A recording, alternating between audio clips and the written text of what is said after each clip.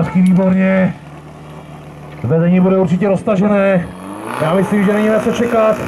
Markéta pochopila, že nebudu dopředu. A ještě mohli klidně o chvilku dřív. Takže